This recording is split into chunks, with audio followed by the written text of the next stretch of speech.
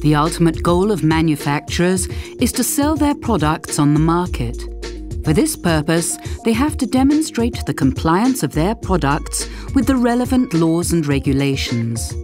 The most efficient way to show compliance with laws and regulations is the use of standards that are detailing the relevant laws and regulations and are recognized by the individual national regulators.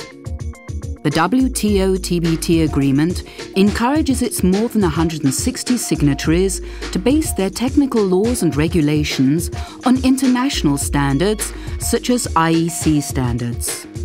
Therefore, a close and fruitful cooperation between standardization and conformity assessment is necessary. IEC offers both standardization and conformity assessment to the industry by running four successful conformity assessment systems based on IEC standards.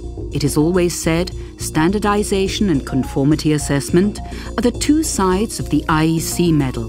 We need each other. We are two sides of the same coin. We are brothers and sisters. We are cousins. We are together. And if we don't work together, then we will suffer and the industry and technology will suffer as well. This seems to be true because in many cases, the awareness of each other is not sufficient enough. Having the different tests contained in different standards but trying to achieve the same end result causes a lot of problems to us. Not just to at the test houses or to the certification bodies, but to the market.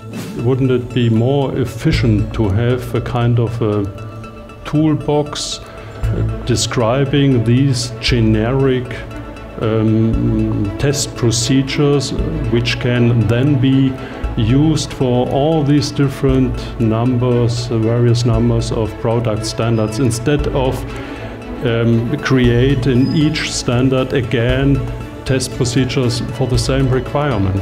Greater communication between the standardization uh, developers, the TCs, technical committees, and the conformity assessment. We have already some examples, some fine examples where this does occur.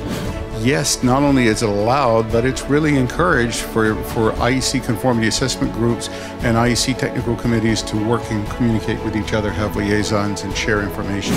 Standardization and conformity assessment should be like two pillars of IEC, supporting together the demand of the industry we understand that in the standardisation process, we need to ensure that we have all stakeholders participating and represented.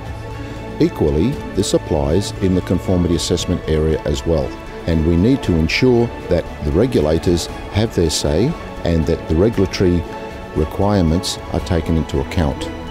IEC General Meeting 2016 Connecting Communities Reinvent Standardization